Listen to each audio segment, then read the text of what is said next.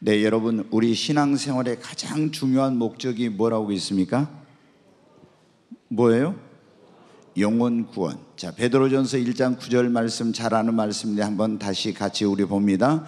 믿음의 결국 곧 영혼의 구원을 받음이라. 아멘. 우리가 신앙생활하는 가장 궁극적인 목적은 무엇이라고요? 영혼 구원. 영혼 구원받아 천국 가는 것입니다. 그런데 어떻게 하면 우리가 구원받아 천국 갈 수 있다겠죠? 지난주에 우리가 반드시 받아야 될 네 가지 은혜에 대해서 말씀을 드린 첫 번째 은혜가 구원의 은혜였어요. 근데 이 구원을 받으려면 어떻게 해요? 우리의 행위나 노력이나 공로로 받는 것이 아닙니다. 먼저 우리가 하나님 앞에 죄악된 삶, 하나님을 등진 삶에서 돌이킨다고 이거를 뭐라고요? 회개하는 것. 그리고 2000년 전에 우리를 구원하기 위해서 이 땅에 오신 예수님 마리아에게 천사가 와서 말했습니다. 보라 네가 성령으로 아들을 잉태하니니 그 이름을 예수라 하나. 이는 그가 자기 백성을 저희 죄에서 구원할 자이심이라. 예수님은 구원자이십니다. 다른 이로서는 구원을 얻을 수 없나니 오직 천하 인간의 우리에게 구원받을 만한 예수의 다른 이름을 주신 적이 없습니다. 예수 구원자로 오신 예수님께서 우리의 모든 죄를 짊어지고 십자가에 피 흘려 죽으셔서 우리 모든 죄값을 담당해 주셨습니다. 이 예수님을 나의 구주, 나의 주님으로 영접하면 우리가 물과 성령으로 거듭나게 되고 우리 이름이 하나님 나라의 생명책에 기록이 되는 것입니다. 여러분이 교회를 다니고 세례를 받고 직분을 받았어도 물과 성령으로 거듭나지 못하고 생명책에 이름이 기록되지 못하면 여러분 하나님 나라에 갈 수 없어요. 반드시 우리가 하나님 나라에 들어가려면 구원받아 천국에 가려면은 생명책에 이름이 기록돼야 됩니다. 자, 요한계시록 21장 말씀해 보면 이런 말씀을 같이 읽습니다. 무엇이든지 속된 것이나 가증한 일 또는 거짓말하는 자는 결코 그리로 들어가지 못하되 오직 어린 양의 생명책에 기록된 자들만 들어가리라. 아멘. 오직 어린 양, 어린 양이 누구입니까? 예수님. 보라 세상 죄를 주관하는 하나님의 어린 양이로다. 예수님은 구약에는 죄를 용서받으려면 어린 양을 잡아서 그 속죄 제사를 드림으로 말미암아 어린 양이 죽고 속죄 제단에 피를 뿌림으로 말미암아 죄 사함 받고 구원받았어요. 그런데 예수님께서 하나님의 어린 양으로 우리를 위한 속죄 제물로 이 땅에 오셔서 우리 모든 죄를 짊어지고 십자가에 피 흘려 죽으시서 우리의 죄값을 담당해 주셨어요. 이 예수님을 믿으면 예수의 피로 우리가 죄 사함 받고 구원 받습니다. 그리고 우리 이름이 어디에 하나님의 어린 양 그 생명책에 여러분 기록되는 것입니다. 여러분 그런데 우리가 이렇게 회개하고 예수님을 믿고 난 진짜 구원받은 사람은 반드시 그 다음부터 뭐예요? 우리가 입으로만 주여 주여 하는 것이 아니라 하나님의 뜻대로 삽니다. 마태복음 7장 21절에 보면 주여 주여 하는 자마다 다 천국에 들어갈 것이 같이 한번 읽겠습니다. 나더러 주여 주여 하는 자마다 다 천국에 들어갈 것이 아니요 다만 하늘에 계신 내 아버지 뜻대로 행하는 자라야 들어가리라. 아멘. 우리가 회개하고 예수님을 믿었으면 예수님이 나의 구원자와 주인이 되었어요. 그러면 이제는 우리는 예수님을 주님이라고 부릅니다. 그래서 주여 주여 하죠. 근데 주여 주여 하는 자마다 다 천국에 들어가는 것이 아니에요. 하늘에 계신 내 아버지 뜻대로 행하는 자에 들어가리라고 예수님 말씀해. 우리가 예수님을 진정으로 믿고 나의 구주, 나의 주님으로 영접하면 그 다음부터 우리는 내 마음대로 내 뜻대로 살려고 하지 않고 하나님의 뜻대로 살려고 하는 것입니다. 이런 사람만이 온전히 구원받아서 천국에 가는 것입니다. 여러분, 그런데 우리가 한 번 구원받은 사람은 어떻게 살아도 구원받고 천국 갈 수 있습니까? 네, 구원파라는 그런 이단 있죠. 거기는 보면은 우리가 이제 구원받는 것도 깨달음으로 구원을 받는다게. 아, 예수님이 우리 죄를 위해 십자가에 돌아가셨다. 내 죄가 용서받았다. 이것을 깨달으면 구원받는다고. 여러분, 지금 유튜브에 굉장히 많은 조회수를 기록하는 그런 지금 어 연예 기획사 아주 유명한 연예, 연예 기획사의 그 대표가 무슨 천열매들이라는 그런 유튜브 강의를 하고 있어요. 근데 이 사람이 뭐냐면 구원파예요. 아주 우리나라의 유명한 춤꾼이죠. 뭐 굉장히 춤도 잘 춥니다. 나는 그 사람이 뭐 뭐라고 뭔지를 몰랐었는데 어, 이 사람이 보니까 우리나라에 아주 수많은 연예인들을 거느리고 있는 대형 기획사의 대표이고 가수이고 또 작곡가이고 아주 막 대단한 그런 연예계에서는 어, 이 파워가 대단한 사람이에요. 근데 이 사람이 최근에 유튜브를 이렇게 개설해 가지고 굉장히 많은 사람들이 거기 지금 현혹되고 있어요. 근데 그 사람이 누구냐면은 구원파에 소속된 사람이에요.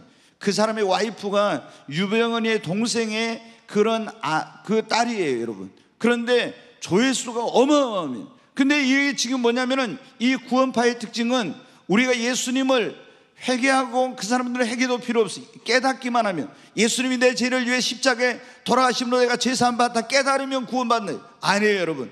회개하고 예수님을 나의 구세주로 나의 주인으로 영접해야 됩니다. 믿어야 돼요. 그리고 여러분은 어떻게 돼요? 그 주님의 말씀을 따라서 이제는 살아야 되는 것입니다. 예수님을 깨닫는다는 것과 영접, 나의 왕, 나의 하나님으로 영접한다는 것은 완전히 여러분 차원이 다른 문제예요. 그러니까 깨닫기만 하면은 우리가 예수님의 말씀대로 안 살든 살든 상관이 없는데 여러분 깨달음만 가지고 왔는데 깨달아야 되겠죠. 그러나 우리가 예수님이 우리의 구원자라는 것을 깨달았으면 그분을 나의 구세주와 나의 주인으로 여러분 모시고 살아야 되는 것입니다. 그런데 이 구원파의 특징은 뭐냐? 이 유병헌 구원파, 박옥수 구원파, 기쁜 소식, 그 다음에 이요한 구원파라고 이렇게 구원파의 세 종류가 있는데 이 사람들은 뭐냐면은 한 번 구원받으면 어떻게 살든지 그들이 죄를 짓든지 먼저 구원은 잃어버리지 않고 천국에 간다 이렇게 가르쳐요. 근데 이제 오늘날 20세기부터 들어와서 21세기에 복음주의라고 하는 어, 이런 이제 그 주의가 있는데 이 복음주의 교회들 보통 우리 기성 교회를 그렇게 말하는데 이 교회들도 아주 이 칼빈의 그 영향을 받아가지고 칼빈의 교리 가운데 하나님이 선택한 자는 결코 버림받지 않는 이런 교리가 있네. 이게 너무 이제 어, 어떤 왜곡돼 가지고 예수님을 한번 믿으면 영원히 버림받지 않고 구원받는다 이렇게 가지고 한 번 구원은 영원한 구원인 것처럼 이렇게 지금 되고 있습니다. 근데 사도 바울은 우리에게 여러분 그렇게 말하고 있지 않습니다. 고린도전서 9장 27절 말씀 한번 보겠습니다. 같이 읽습니다. 내가 내 몸을 저 복종하게 하면 내가 남에게 전파한 후에 자신이 도리어 버림을 당할까 두려워함이로다. 여기 보면 사도 바울이 그랬죠. 나는 내 몸이 내 육신이 하자는 대로 하지 않고 내 육신이 하자는 때 내 육신을 쳐서 복종을 시킨대. 왜? 육신은 하나님과 육신에 속한 자들은 아, 육신은 하나님을 대적하고 하나님과 원수가 되게 하고 하나님의 성령을 따라 살지 못하게 하는 것이 육신이 원수예요. 그런데 이 육신이 하자는 대로 하면은 우리가 버림받게 되기 때문에 그래서 내가 내 몸을 쳐서 복종케 육신을 쳐서 복종시키고 그것은 내가 남에게 전파해서 다른 사람은 구원하고 내가 도리어 버림을 당할까 두려워하는 여러분 한 번 구원은 영원한 구원이면 왜 버림받는 것을 두려워할 필요가 있겠어요? 우리가 예수 믿고 구원받았어도 버림을 당할 수 있기 때문에 사도 바울은 나는 버림을 당할까 두려워서 내 몸을 쳐서 복종시킨다고 이렇게 말하고 있는 것입니다. 여러분 한 번 구원은 영원한 구원이 아닙니다. 끝까지 믿음을 잘 지켜야 하는 것입니다. 초대교회에도 이런 사상들이 있었어요. 영지주의라고 해서 우리가 예수를 믿고 구원받으면 영혼이 구원받으니까 육신은 아무리 죄를 지어도 상관하지 않고 그 사람들은 천국에 간다고 하는 이런 이단들이 있었습니다. 근데 이런 이단들의 영향을 초대교회의 많은 그리스도인들이 받아가지고 그래 우리가 육신 어, 구원받는 것은 영혼이 구원받는 육신이 구원받는 게 아니야. 그러니까 육신적으로 죄를 많이 짓고 이런 삶을 사는 그리스도인들이 많이 있었어요. 그래서 특히 고린도 교회에 굉장히 이런 사람들이 많이 있었는데 사도 바울이 그래서 그들에게 경고의 메시지를 보낸 것입니다. 여러분 고린도 10장 1절부터 한번 보겠습니다. 같이 한번 읽겠습니다. 형제들아 나는 너희가 알지 못하기를 원하지 아니하노니 우리 조상들이 다 구름 아래 있고 바다 가운데로 지나며 계속 보겠습니다.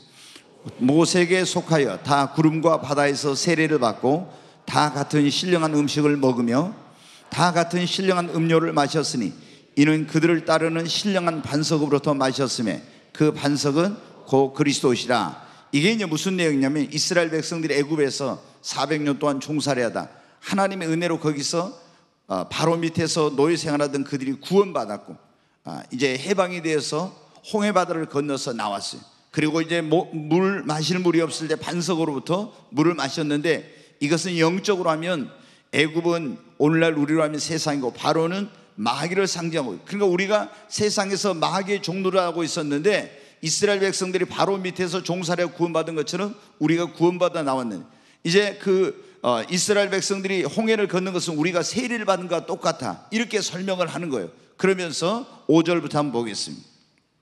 같이 읽습니다. 그러나 그들의 다수를 하나님이 기뻐하지 아니하셨으므로 그들이 광야에서 멸망을 받았느냐.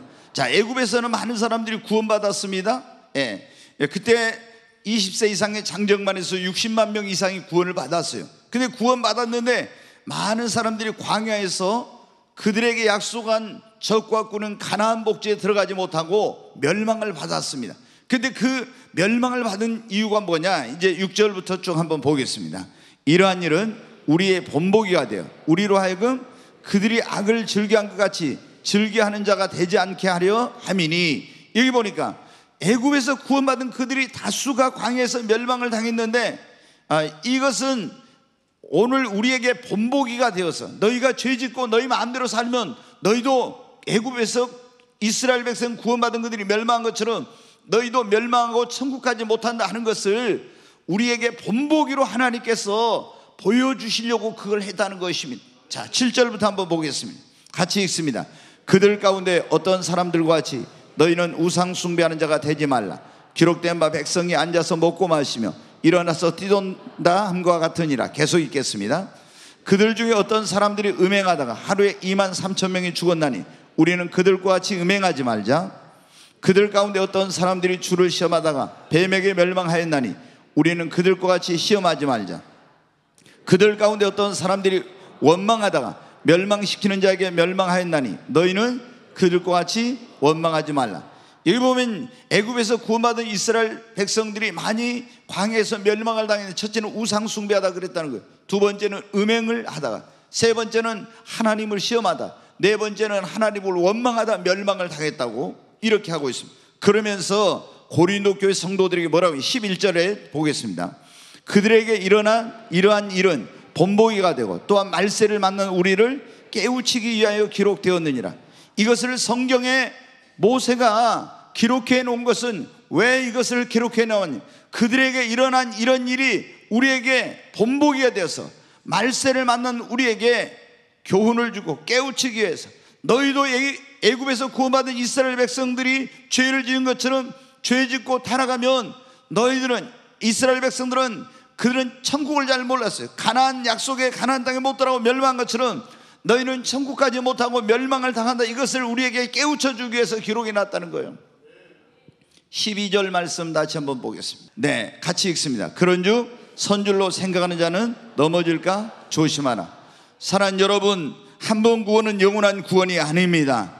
우리가 예수 그리스도를 믿고 구원받은 사람들이 온전한 구원은 언제 일어나? 완성이 언제 된? 천국에 들어갈 때 온전히 구원이 성, 완전한 구원은 이루어지는 것입니다. 우리가 예수님을 믿고 구원받은 사람들이 천국에 들어가는 그날까지 우리가 믿음을 지켜야 하는 것입니다. 그래서 사도 바울은 빌보 성도들에게 이렇게 말했습니다. 빌보서 2장 12절 말씀 같이 읽겠습니다. 그러므로 나의 사랑하는 자들아 너희가 나 있을 때뿐 아니라 더욱 지금 나 없을 때도 항상 복종하고 두렵고 떨림으로 너희 구원을 이루라. 아멘. 우리가 예수님을 믿으면 회개하고 예수님을 믿으면 구원받습니다. 그러나 이 온전한 구원은 하나님의 나라에 들어갈 때 완전한 구원이 이루어지는 것입니다. 그때까지 우리가 뭘 해야 두렵고 떨림으로 항상 여러분 우리가 신앙생활에서 믿음을 지켜야만 되는 것입니다.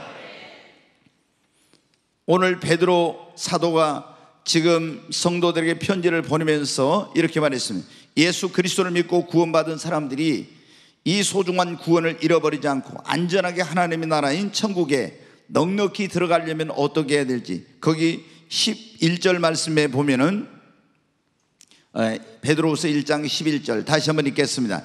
이와 같이 하면 우리 주 고 구주 예수 그리스도의 영원한 나라에 들어감을 넉넉히 너희에게 주시리라. 아멘. 여러분 하나님의 나라인 천국에 여러분이 안전하게 넉넉하게 들어가게 되시기를 바랍니다. 어떤 사람은 정말 간당간당하는 사람들이 있어요. 음, 너무 아슬아슬해. 저 사람 진짜 전 목회하면서 그럴 때가 굉장히 힘들 때인데 뭐냐면 어, 교회를 다니긴 다닌데 아, 저 사람 보니까 아무래도 구원 못 받은 것 같아. 그런 마음이 목회자에게 있을 때 아, 너무 그게 마음이 힘들죠. 왜? 이, 여기 있는 이 목사가 해야 될 가장 중요한 그 일이 뭐냐면 영혼을 구원하는 일이에요. 여기에 그래서 제가 여러분을 위해 하는 기도 가운데 첫 번째 기도가 뭐냐면 하나님 우리 꿈의 교회 온 사람은 한 사람도 멸망치 않고 그냥 교회만 왔다 갔다 하는 것이 아니라 그 이름이 생명책에 기록되어서 하나님 나라에 갈 수 있게 해달라고 구원받게 해달라고 여러분 기도합니다. 여러분이 교회를 다녔는데 구원받지 못하면 어떻게 되겠어요? 그런데 너무나 어떤 사람들은 아, 정말 이 구원 받았을까 말았을까 또 구원 받았다고 하면서도 위태로운 그런 가운데 있는 그런 사람들이 있어요. 오늘 이 사도 베드로를 통해서 하나님께서 어때요? 우리가 어떻게 하면 예수 믿고 구원받은 사람들이 안전하게 넉넉하게 하나님 나라인 천국에 갈 수 있는지 말씀해 주시고 있는 그렇게 하려면 여러분 우리가 어떻게 해야 되면 구원받았다고 아니라고 나태한 신앙생활 하지 말고 모이기를 힘쓰고 최선을 다해 신앙생활하면 더욱 믿음을 성장을 시켜야 됩니다. 한 번 구원, 영원한 구원이다 이런 사람들은요 보통 신앙생활을 치열하게 하지 않습니다.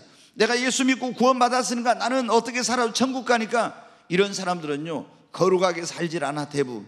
그리고 하나님 앞에 뭐 치열한 그런 신앙생활 이런 걸 하질 않아요.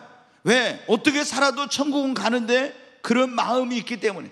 그래서 이 사람들은 죄 짓고 살면서도 당신 구원받았습니까? 나 구원받았습니다. 어떻게 구원받아요? 한번 구원은 영원한 구원이니까.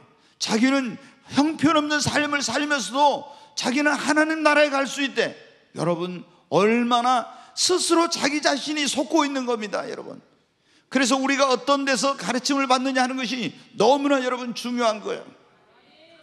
제가 목회하면서 제일 고민하고 관심을 많이 가졌던 게 뭐냐면 저도 이제 처음에 교회를 다니다가 구원의 확신이 없이 다니다 어느 날 예수님이 나의 죄를 짊어져 십자가 주시고 이 예수님을 통해서 내가 죄산 받았다 구원받았다는 알고 너무 기뻤어요. 근데 이제 교회를 옮겨가지고 어 이제 그 구원의 확신을 갖게 된 교회를 다니는데 성경에 보니까 그렇게 하는 주여 주여 하는 자마다 다 천국에 들어갈 것이 아니요 하늘에 계신 내 아버지 뜻대로 행하는 자가 간다고. 그래서 어, 목사님 어, 우리가 예수님 믿기만 하면 구원이라고 했는데 여기는 하나님 뜻대로 살아있는데 하나님의 아들을 믿는 자는 영생이 있고 순종치 않은 자는 영생을 보지 못하고 도리어 하나님의 진노가 그 위에 머물러 있다고 했는데 이건 어떻게 된 겁니까? 아, 주의 이름으로 선지자노로 귀신 쫓아놓 많은 능력을 행했는데 이 사람들이 내가 주님이 그날에 너희를 도무지 알지 못한다는 이 사람들은 어떤 사람들입니까? 그 목사님이 그래요. 구원받지 못한 사람이라고. 근데 제가 그런 거예요. 아니, 구원받지 못한 사람이 어떻게 선지자 노라고 귀신 쫓아놓 많은 능력을 행할 수 있을까? 아무리 이해가 안 되는 거예요. 그래서 누구에게 말 못한 가운데 저는 목사가 돼가지고도 심지어 초대교회부터 지금까지 이 구원의 구원론에 대한 어떤 변천 과정, 이게 어떻게 오늘날 이런 식으로 변화가 됐는가? 성경이 말하는 구원론, 예수님께서 말하는 그 진짜 구원은 무엇인가? 이것에 대해서 몇십 년 동안 계속 고민하면서 기도하면서 연구했습니다.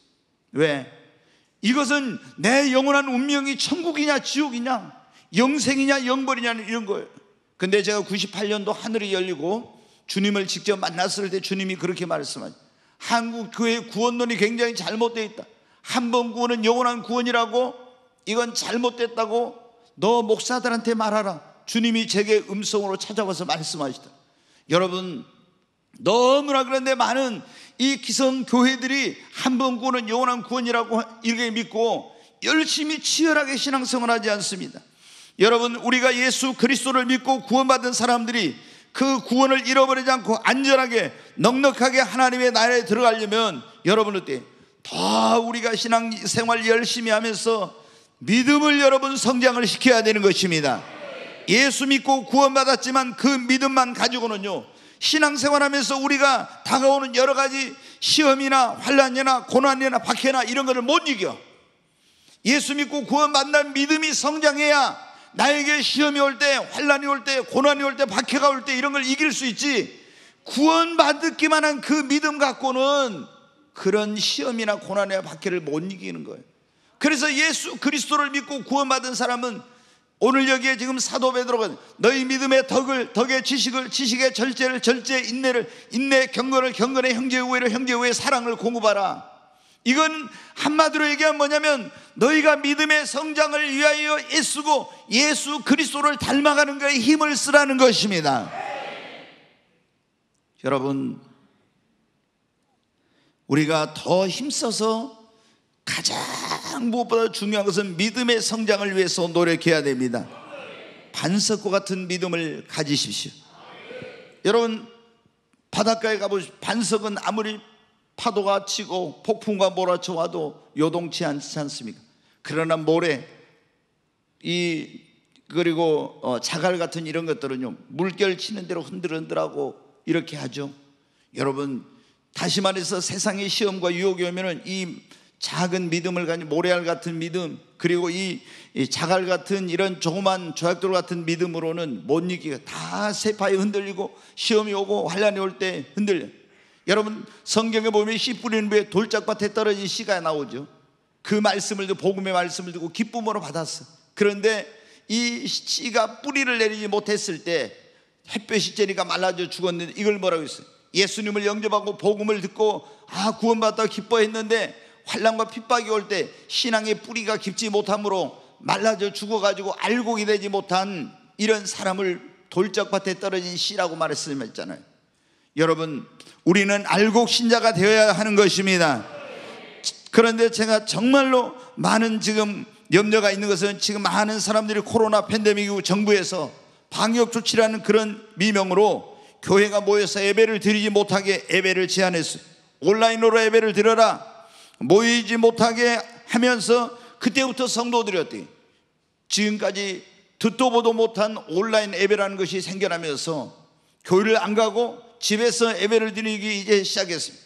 성경에 말하는 그건 진정한 예배가 아닙니다, 여러분. 그런데 그런 예배를 드리면서 이제 어떻게 하냐면 어떤 신앙의 편리, 편의주의 이런 것에 빠지게 되고 성도들이 모이지 않다 보니까 점점 신앙이 병든 성도들이 많아졌어요. 그 기간 동안 육신의 건강보다 소중한 믿음을 잃어버린 사람들이 얼마나 많은지 모릅니다. 여러분, 우리가 육신이 건강하다 해도 100년도 못 살고 육신은 또 늙어서 죽습니다. 그러나 이 건강보다 더 소중한 것, 우리 인생의 가장 소중한 것이 무엇입니까? 믿음입니다. 이 믿음을 잃어버리면은 우리가 영혼을 잃어버리게 되고 내 영원한 운명이 지옥으로 떨어지고 마는 것입니다. 사랑 여러분, 우리가 이렇게 정말 해가지고는 안전하게 천국에 들어갈 수 없습니다. 지금 위태위태한 사람들이 많은데 그리고 아니 어떤 사람이 이미 믿음의 배가 파선을 했어요. 디모데 전서에 보면은 후메네와 알렉산더와 이런 사람들 화인 맞은 양심을 가진 이런 사람들이 이미 믿음이 파선했다고 하는 그런 말씀이 나오고 있어요. 우리는 믿음이라는 배를 타고 노아가 방주를 타고 구원을 받은 것처럼 믿음이라는 배를 타고 손의 항구인 천국을 향해서 가고 있습니다. 근데 이 믿음의 배가 여러분 파산하고 깨져버리면 어떻게 돼요? 지옥으로 멸망으로 떨어지고 마는 것입니다. 사랑 여러분, 그러므로 우리는 그 어떤 것보다도 믿음이 소중하다는 것을 알고 믿음을 잃어버리면 모든 걸 잃어버리니까 믿음을 여러분 굳건하게 하고 믿음을 지켜야 하는 것입니다. 다시 우리 각성해야 되겠습니다. 분발해야 됩니다. 열심을 품고 다시 주를 섬기고 열심히 신앙을 성장시키고 더 굳건하게 하는데 여러분 힘을 써야 하는 것입니다. 그러기 위해서 중요한 것이 우리가 무엇입니까? 너희는 그날이 가까운 볼수록 더욱 모이기를 힘쓰고 사랑과 선행을 격려하라고 했죠. 여러분 우리 모이기에 힘을 써야 되는 것입니다. 아무리 믿음 좋은 사람도 여러분 경험하셨지 않습니까? 코로나 팬데믹 현상에서 교회 가면 무슨 코로나 걸릴 같은 막 이런 언론에서 미디어 이런 데서 계속 떠들어내니까 불안해가지고 교회를 못 오고 예배에 빠지고 계속 모이지 못하고 기도에도 못하고 이렇게 하다 보니까 어떻게 돼? 믿음이 침체됩니다. 여러분 그래서 우리의 신앙이 다시 살아나려면은 여러분 모이기를 힘을 써야 됩니다. 예배 자리에 나와야 됩니다. 말씀을 읽고 묵상하고 열심히 봉사하고 성도들과 교제하면서 우리의 믿음의 성장을 했어야 되는 것입니다. 우리가 안전하게 예수 믿고 구원받은 사람들이 천국에 들어가는 두 번째는 늘 깨어서 여러분 기도해야 합니다. 네, 여러분 기도하지 않으면 절대 믿음을 못 지켜요. 시몬 베드로에게 예수님이 그랬잖아요. 너희가 시험에 들지 않도록 뭐 하나? 깨어서 기도하라 했잖아요. 근데 시몬 베드로가 피곤하다고 기도하지 않고 잤죠. 또 깨어놓으면 또 자고 또 깨어놓으면 또 자고 그랬잖아요. 결국에 여러분 어떻게 시험에 들지 않게 기도하라고 했는데 내가 주와 함께 죽는데도 가겠습니다. 이랬던 시몬 베드로가 예수님을 모른다고 어떻게 돼? 세 번이나 부인하는 이런 어, 이런 일이 이제 예, 이런 범하고 마는 게 되는. 예, 왜 그렇습니까? 기도하지 않았기 때문에 그런 거예요. 여러분이 마음속으로 지금 예수님을 믿는 사람은 한 사람도 나는 주님을 떠나지 않을 거야. 나는 어떤 일이 있어도 절대 믿음을 배반하지 않을 거야. 내게 어떤 환란과 핍박이 온다 할지라도 절대 나는 아, 예수님을 부인하지 않을 거야. 이런 마음을 다 가지고 있을 겁니다. 그러나 여러분이 기도하지 않으면 베드로처럼 그런 상황, 그런 환경에 처하면요. 기도하지 않는 사람은 반드시 다 예수님을 부인하고 시험에 들고 믿음을 못 지키게 돼. 여러분, 기도하는 사람만이 신앙의 승리자가 될 수가 있습니다. 성경에 보면 어떤 어려움도 이 기도하는 사람들은 그것을 다 이겨내고 안전하게 천국에 들어갔습니다. 신앙의 승리자들은 다 기도의 사람들이었습니다. 다니엘과 여러분 그 친구들 보십시오. 왕립학교 학교에 들어갈 때부터 시험이 왔잖아요. 근데 어떻게 그걸 이겼어요? 열흘 동안 기한을 달라고 기도하면서. 그리고 여러분 그 이후로 그 다니엘의 세 친구가 어, 느부갓네살왕이 만든 금신상에 절하지 않으면 풀무불에 들어가는데요. 어떻게 그걸 이겼어요? 기도하고 믿음이 있었기 때문에. 여러분 다니엘이 사장으로 들어가도 그런 어떤 시험의 온도 다 이겨낼 수 있었던 것은 하루에 세 번씩 기도했기 때문입니다. 사랑하는 여러분 모르드게가 그 페르시아 제국에서 자기에게 조여오는 그런 고통과 억압과 이런 모든 시험을 이길 수 있었던 것은 기도했기 때문입니다. 초대교회 성도들이 그리고 사도들이 모든 박해를 이기면서 믿음을 지킬 수 있었던 것은 여러분 그들이 기도했기 때문인 것입니다. 사도들도 그랬잖아요.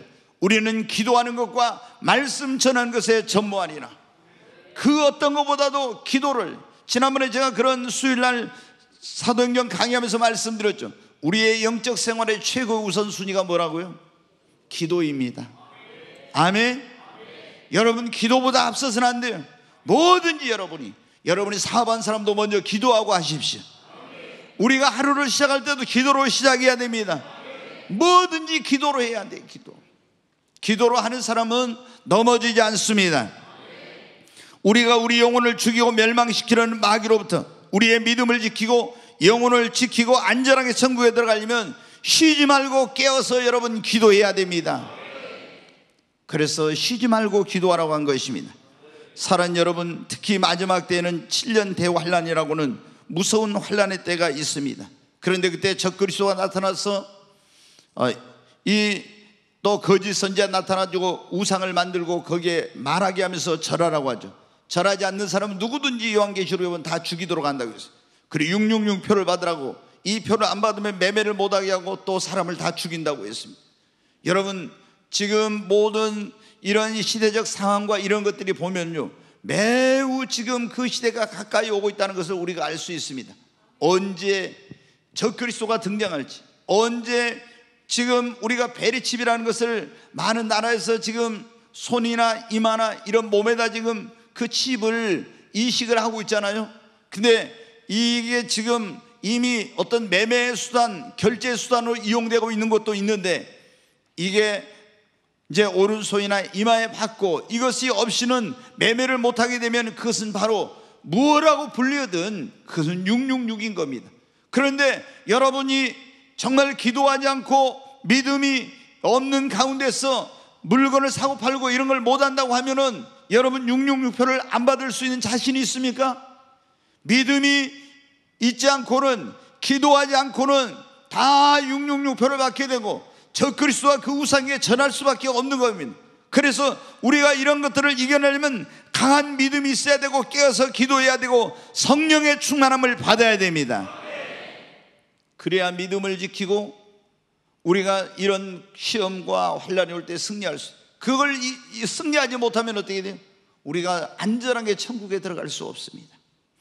네, 세 번째로 우리가 예수 그리스도를 믿고 구원받은 사람들이 안전하게 천국에 들어가려면 시험에 들거나 실족하지 않도록 조심해야 됩니다. 제가 뭐 이게 목회하면서 뭐 신앙생활 하면서요. 시험 들어서 교회 안 나온 사람 너무 많습니다. 여러분 가운데 그런 경험을 했던 그런 분들이 있는지 모르겠어요. 예, 어, 이제 시험 들어가지고요. 어, 이 봉사 같은 것도 전혀 안 해요. 어떤 봉사를 하다가 시험 들어가지고. 그 다음에 또 이제 시험 들면 기도도 안 합니다. 예배 자리에 빠지게 되고 모임에 안 나온 사람들이 있어요. 시험 들면. 어, 그리고 심한 경우에는 아주 심한 경우는 타 종교로 이제 개종을 해버려요. 아니, 교회를 다니 제가 그때 언제 충격받았던 게 제 어떤 모교회 같은 교회가 있는데 목포에. 근데 그 교회에 장로님이 어떤 목사님이랑 이렇게 하고 뭐 시험에 들어는 거예요. 근데 이분이 카톨릭으로 가버렸어요. 카톨릭. 내가 너무 충격을 받았어요. 카톨릭으로 가는 것은 교회를 옮기는 게 아니라 개종이에요. 우리가 개신교에 있다가 카톨릭으로 가면요. 교회 옮겼단 말 안 해. 개종했다고 개종. 카톨릭에서 개신교로 오면요. 개종. 이거는 여러분 똑같은 기독교가 아니야. 이 로마 카톨릭은 이 로마의 혼합 종교, 기독교가 거기 섞여진 혼합 종교. 아, 그러니까 그 사람들은 제사도 지내고 어, 그 종교 다운주의자들이 모여가지고 다 불교도 구원 있고 이슬람에도 구원 있고 다 인정해 주잖아요. 여러분 구원은 예수 외에 구원 없습니다. 어, 여러분 그런데 어디 불교로 간다? 어디 카톨릭으로 갔다? 시험 들어가지고 이런 일이 있거든요. 근데 어, 왜 시험 드는가 보면 사람 때문에 저도 이제 굉장히 그걸 이제 조심하죠. 왜? 아, 목사 때문에 시험 들었다. 뭐 장로 때문에 시험 들었다. 권사님 때문에 시험 들었다. 이런 말이 저도 누구하고 상담하다 보면 그런 말이 나오잖아요. 어, 나 때문에. 그러니까 성경에 보면 어, 세상에 실족해 하는 일이 없을 수는 없으나 실족해 하는 자에게 화가 있다겠죠. 나 때문에 어떤 사람이 예수님 믿다 안 믿어가지고 지옥에 갔다 그러면 나에게 그게 큰 책임이 있는 거예요. 차라리 연자맷돌을 메고 사람을 실족시키려면 목 바다에 빠져 죽는 게 낫다고 했잖아요. 그러니까 얼마나 우리가 다른 사람을 실족시키지 않도록 조심해야 될지 몰라요. 근데 사람 때문에 실족에 시험 들어요. 또 말로 인해서 어떤 상처를 받고 시험 들고, 어, 일하다가 마음이 안 맞아 시험 들고, 또 헌금 때문에 시험 들고, 이 신앙생활 하다 보면 여러 가지 이유로 시험이 듭니다. 아무것도 아닌 것 같죠, 때로는. 근데 시험들은 가장 큰 이유가 뭐냐면 기도하지 않을 때는 아무것도 아닌 것 같죠, 진짜 시험 들어요. 예, 그런데 여러분 시험 들어서 신앙생활 제대로 안 하고 교회 안 나오고 봉사 안 하고 기도 안 하면 누가 손해요? 누가 손해입니까? 이렇게 말 내가 손해입니다. 아니 크게요. 내가 손해입니다. 아멘. 여러분이 그래가지고 주님 앞에 갔을 때 믿음을 잃어버렸어. 그럼 너 지옥이다. 생명책 이름 없다. 근데 저 꿈의 교회 다니는데, 근데 너 꿈의 교회 다니는데 왜 믿음이 없어? 저 시험 들어가지고 그랬어요. 누구 때문에 시험 들었냐? 주님 보러. 그건 여러분 거기 가서는 주님한테 그게 대질 이유가 안 돼, 이유가 안 돼. 어, 여러분 정말 우리가 시험 들면 본인만 손해요. 그러다가 안전하게 천국에 갈 수 없어요. 그러므로 우리는 사람 바라보지 말고 주님만 바라보고 신앙생활 해야 됩니다. 어떤 오해가 생겼으면 여러분 풀어야 됩니다.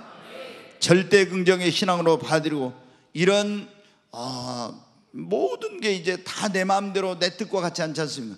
그런 어려움이 올 때 그것을 뛰어넘어야 됩니다. 그래야 믿음이 한 단계 더 성장하는 거예요.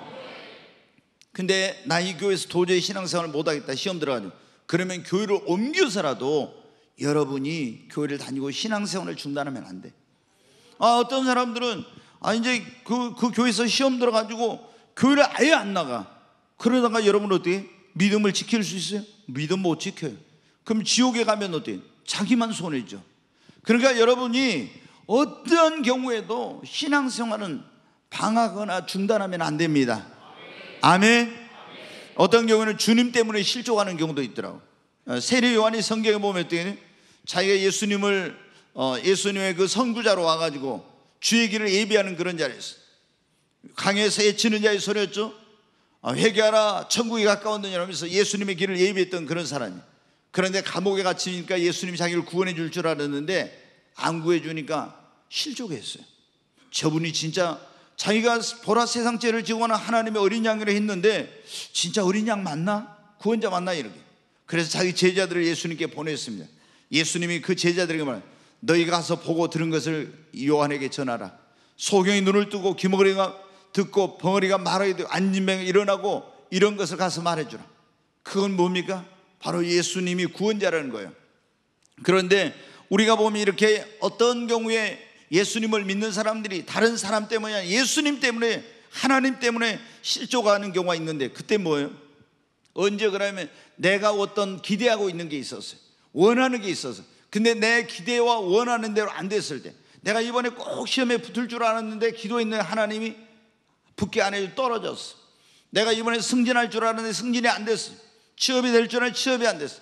어떤 결혼 문제가 잘 안 풀리고 이렇게 할 때 하나님 앞에 나름대로 열심히 봉사하고 헌신하고 기도했는데 내 기대와 생각대로 안 될 때 하나님께 어떤 섭섭한 마음이 들고 그런 것 때문에 시험 들은 그런 거예요. 그래서 아, 내가 열심히 봉사해도 뭐 나에게 뭐 좋은 것도 없고 그러니까 나 교회 안 나갈란다 이제 봉사도 안 할란다 이렇게 해가지고 여러분 시험 들은 경우가 있어. 또 어, 나름대로 열심히 신앙생활에 예기치 못한 삶의 고난과 어떤 시련이 찾아온 거예요. 요비 여러분 보십시오. 열심히 신앙생활 했잖아요. 정말 하나님을 경외했지 않습니까? 근데 생각지 못한 엄청난 환란이 왔네.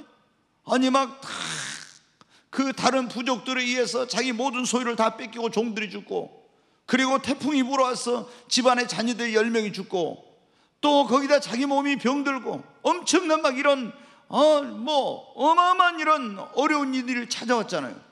그때 욥의 아내는 어떻게 돼? 아, 이런 하나님 난 안 믿겠다고. 하나님이 계시면 이럴 수가 있냐? 우리가 하나님을 어떻게 섬겼느냐? 그리고 실족했습니다. 그러나 욥은 주신 자도 여호와시고 취하신 자도 여호와시니 여호와 이름이 찬송을 받으실지어다. 그리고 그 입술로 범죄치 않고 그가 나를 단련하시는 내가 앞으로 가도 뒤로 가도 하나님을 만날 수 없지만 그가 나를 단련하신 후에는 내가 순금같이 되어 나오리라. 여러분 이겨냈어요. 우리가 신앙생활 하다 보면 항상 좋은 일만 있는 게 아닙니다. 때로는 어, 마음 아픈 그런 일들도 있고 내 기대와 생각대로 안 될 때도 있고 다른 사람에게 생각지 못한 그런 상처받은 말을 들을 때도 있고 어, 정말 어떤 어려운 일들이 있을 때가 있어요. 여러분 그럴 때 우리는 주님을 바라봐야 돼. 천국을 바라봐야 됩니다. 그리고 그것을 절대 긍정의 믿음으로 뛰어넘어야 됩니다. 그러면 내 믿음이 더 성장하게 됩니다. 여러분, 하나님께서 이 모든 것이 합력하여 선을 이루게 주시리라고 믿으시기 바랍니다. 여러분의 믿음대로 됩니다. 그걸 못 이기면 어떻게 해요? 우리가 신앙의 침체가 돼. 우리는 뒤로 물러가 침륜에 빠질 자가 되면 안 된다 했잖아요. 뒤로 물러가면 이런 어떤 어려움을 뒤로 물러가면 침륜에 빠져. 그리고 멸망에 이르게 되는 거. 그래서 절대로 여러분 어떤 경우에도 뒤로 물러가지 마시기를 바랍니다. 우리가 안전하게 천국에 들어가려면 예, 죄를 짓고 타락해서 믿음을 잃어버리지 않도록 조심해야 됩니다.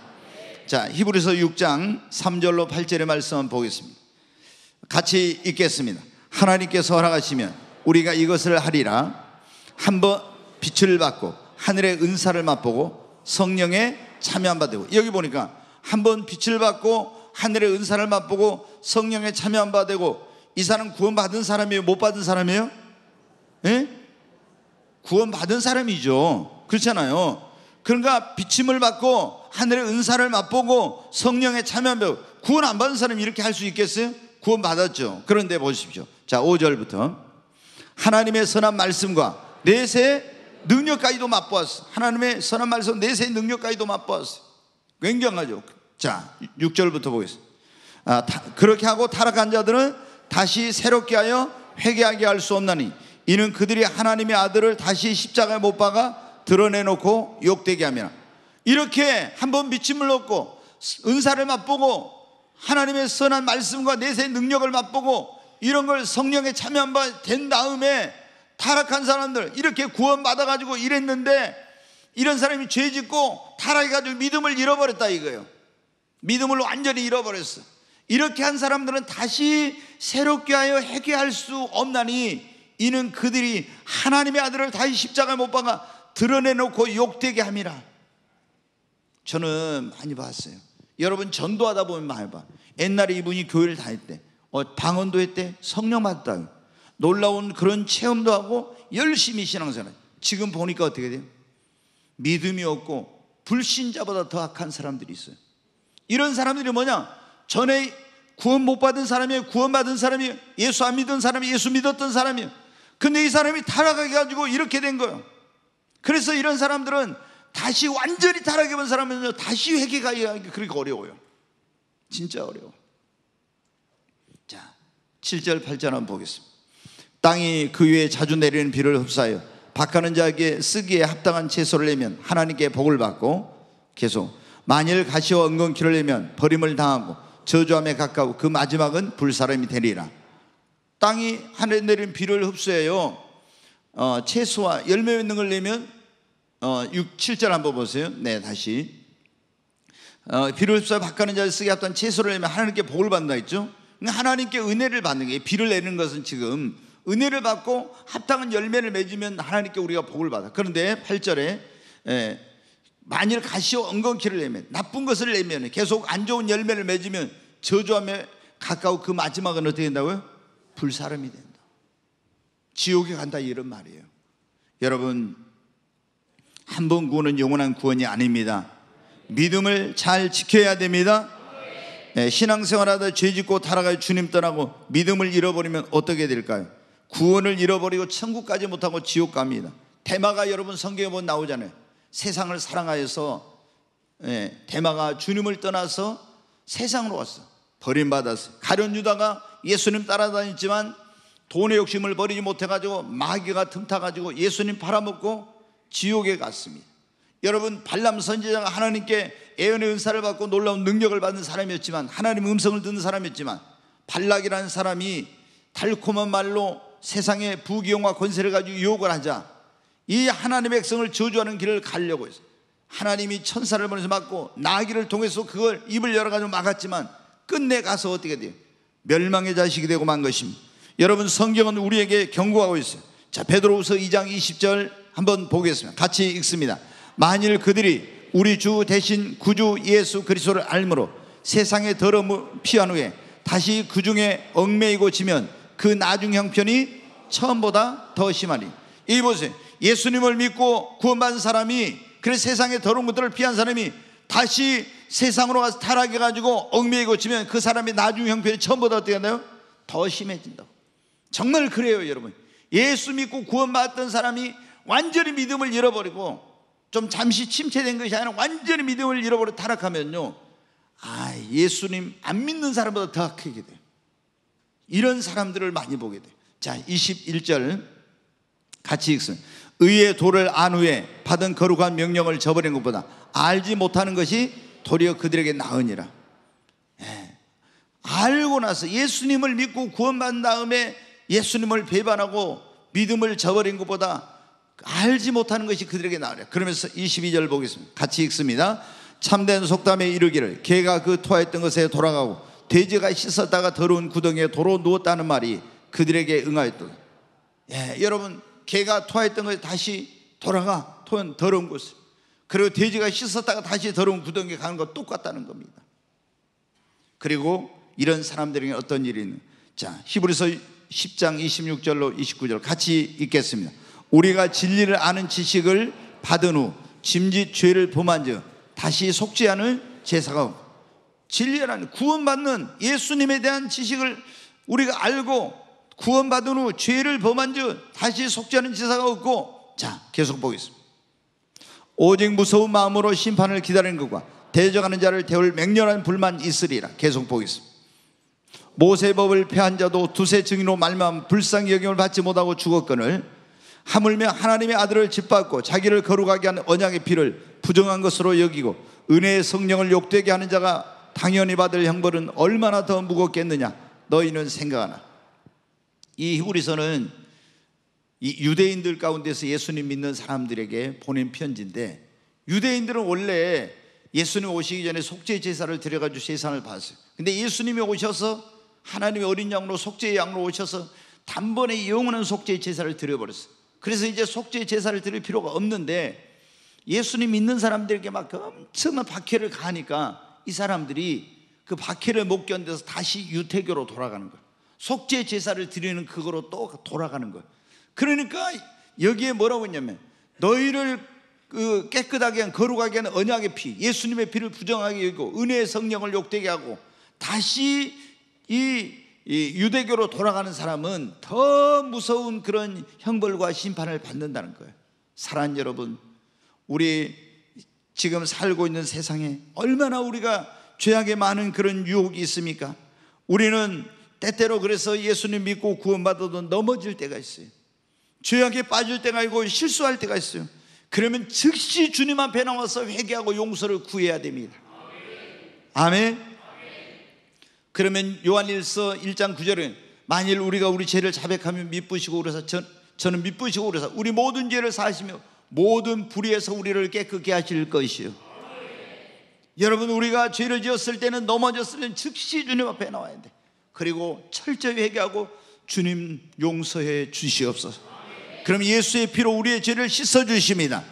그런데 우리가 회개치 않고 계속 죄를 짓잖아요. 그러면 양심이 무디어져 화인 맞은 양심이 돼. 그래가지고 완전히 어떻게 돼요? 타락해 버려. 그래서 이 사람은 천국에 못 들어가는 것입니다. 그러니까 여러분 우리가 성경 본 악은 모양이라도 버리고 죄와 싸우되 피 흘리기까지 싸우라고 그리고 정욕과 욕심을 십자가에 못 받고 육신의 정욕, 안목의 정욕, 이생의 자랑을 따라 살지 말라고 우리에게 경고하고 있잖아요.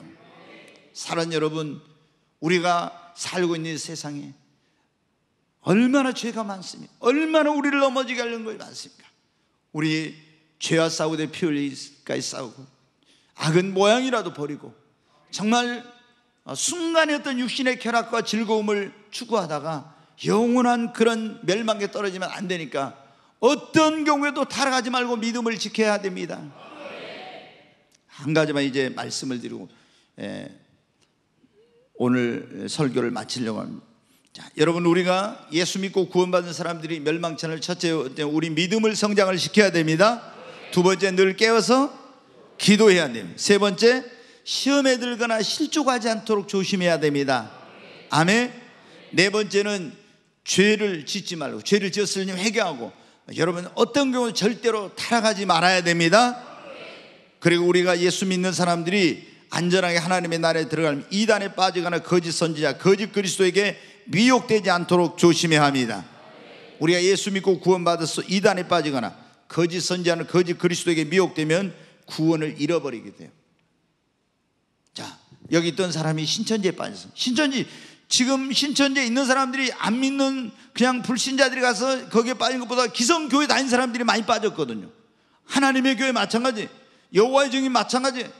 이런데 전부 빠진 사람들 어떤 교회 안 다닌 사람들은 교회 다닌 사람들이 거기 빠진 사람들이 많아. 그럼 거기 가면 어떻게 돼요? 거기 가서 구원 받을 수 있어요? 여러분 지옥에 떨어져. 자 베드로후서 2장 1절부터 한번 보겠습니다. 같이 읽겠습니다. 그러나 백성 가운데 또한 거짓 선지자들이 일어났었나니 이와 같이 너희 중에도 거짓 선생들이 있으리라. 그들은 멸망해야 할 이단을 가만히 끌어들여 자기들의 사신 줄을 부인하고 임박한 멸망을 스스로 취하는 자들이야. 여기 보면 가만히 멸망할 이단을 가만히 끌어들여 가지고 우리를 구원해 주신 주님을 부인하고 임박한 멸망을 스스로 취하는 자들.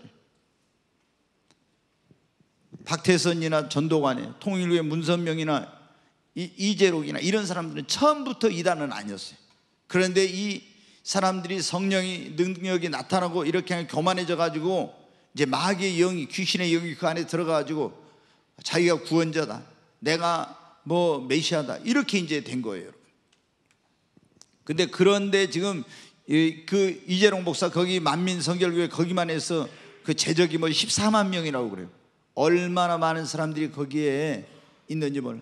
이재록이 그 성추행 사건으로 해가지고 징역을 십몇 년 선고받고 감옥에 들어갔다가 이제 뇌종양으로 지금 임시 가석방 해 가지고 나와 있는데 그런데도 거기 사람들이 있는 거야. 어디 가겠어요? 아, 그리고 여러분이 그런 음, 지금 유튜브에 보면 특히 에, 이 제칠 안식일 교회 이단들이 거기는 안식일 안 지키면 구원을 못 받아요. 그 천국과 지옥이 없다고 해요, 그 사람들은. 지옥을 부정해. 그런데 이런 그 아주 교묘하게 유튜브에서 그걸 하는데 조회수가 몇십만 막 이럽니다. 여러분이 유튜브를 함부로 보면 안 돼요, 설교를. 그냥 여러분의 담임 목사 설교로 만족하십시오. 여러분이 절대로 유익이 안 돼요. 제가 보면 너무나 많은 이런 잘못된 설교가 지금 유튜브 상에 난무하고 있어요. 네. 에, 지금 신천지 하나님의 교회 구원파 이런 또 여러분 그 광화문에서 애국 운동을 가장해 가지고 하는 그런 사람들 있죠. 거기에 또 얼마나 많은 사람들이 열광해 가지고 저도 처음에는 아 나라를 지킨다니까 순수하게 봤어요. 근데 지금 여러분 보세요. 하나님 까불지 마. 그러면 나한테 죽어. 이런 신성 모독하는 그런데 거기에 아주 수많은 사람이 열광하고 있죠. 유명한 장아무개 여러분 부흥사 목사도 가서 맨날 거기서 하고요. 돈 많이 주니까 그런 짓거리 하는 거예요. 그런 사람들 여러분 강단에서 맨날 웃기는 얘기나 하고 농담이라고 내 영혼이 천국이냐 지옥이냐 하는데 그래가지고 거기 가서 거기 자기의 그 유명세를 이용해가지고 가서 그 잘못된 사람 자기 아들을 독생자라고 하고 뭐 이건 신성 모독 하는 거 한두 가지가 아니에요 여러분. 예전에 막 그런 안주 많이 있었잖아요. 목사가 팬티를 벗으라고 하면 팬티까지 한다. 이게 목사가 여러분 할 말이겠어요? 근데 그런 사람 밑에 수많은 사람들이 있다는 다 지금 함께 거기에 완전히 교주가 돼가지고 멸망의 길로 가고 있는 거예요. 여러분, 그러기 때문에 우리가 얼마나 지금 이 시대에 거짓 그리스도, 거짓 선지자, 이런 사람들이 많아요. 예수님 마지막 때 말세의 특징이 뭐라 했어요? 많은 거짓 선지자와 거짓 그리스도들이 일어나서 할 수 아니면 택한 자라도 미혹하여 멸망의 길로 가게 한다고 예수님이 직접 말씀하셨잖아요. 여러분, 근데 너무나 많은 사람들이 안타깝게도 분별력이 없으니까 뭐가 옳은지 그런지를 모르니까 거기에 여러 미혹돼 가지고 멸망의 길로 가고 있는 거예요. 소경이 소경을 인도하면 둘 다 구덩이에 빠진다 했잖아요. 여러분, 그래서 우리가 천국에 안전히 들어가려면은 예, 넉넉하게 정말 그 천국에 들어가려면 어떻게 해야 되겠습니까? 우리가 유튜브 설교 조심해야 돼. 그리고 진리의 말씀으로 무장을 돼. 다 신천지나 이런 데 이단에 빠진 사람들은 교회 중직자들 이런 사람들이 많아. 왜? 그 말씀을 모르니까 그런 거야. 그리고 어, 교회 중심적인 여러분 신앙생활을 해야 합니다. 사랑하는 여러분, 어, 오늘 좀 무거운 그런 말씀을 하나님께 주셨어요. 우리 계속 최근에 위로와 소망의 말씀, 그런 우리가 힘이 되는 그런 말씀을 주셨는데, 예, 오늘은 하나님께서 우리 예수 믿고 구원받은 사람들이 안전하게 천국에 들어가려면 사실 여러분 이 말씀이 더 중요한 말씀이에요. 우리가 세상에서 한순간 위로를 얻고 또 병든 사람이 예수 믿음으로 고침을 받고 또 하나님께 축복을 받고 이럴 수 있습니다. 아, 절망 가운데 있던 사람이 소망을 얻어요. 그러나 여러분 영혼 구원보다 큰 것은 없어요. 여러분 정말로 오늘 이 자리에 오신 여러분 가운데 한 사람도 구원받지 못한 사람이었고 다 여러분 구원받아 여러분의 이름이 생명체에 기록되기를 바랍니다. 그러려면 회개하고 예수님을 여러분의 구원자와 주님으로 모셔 드리십시오. 그리고 이제 진정으로 예수님을 믿었다면 내 마음대로 내 뜻대로가 아니라 입으로만 주여주 하지 말고 하나님 뜻대로 사십시오. 그리고 이 소중한 구원, 이 구원을 지키기 위해서 믿음을 성장시키십시오. 깨어서 기도하세요. 어떤 경우도 시험에 들거나 실족하지 말고 그리고 죄와 싸우되 피 흘리기까지 싸우고 타락하지 않도록 여러분 조심하십시오. 그리고 거짓 선지자나 이단에 빠지 않도록 여러분이 말씀으로 무장하고 교회 중심적인 신앙생활에서 여러분의 믿음을 지켜서 하나님 나라에 넉넉하게 안전하게 들어가는 여러분 모두 되시기를 주의 이름으로 축원합니다.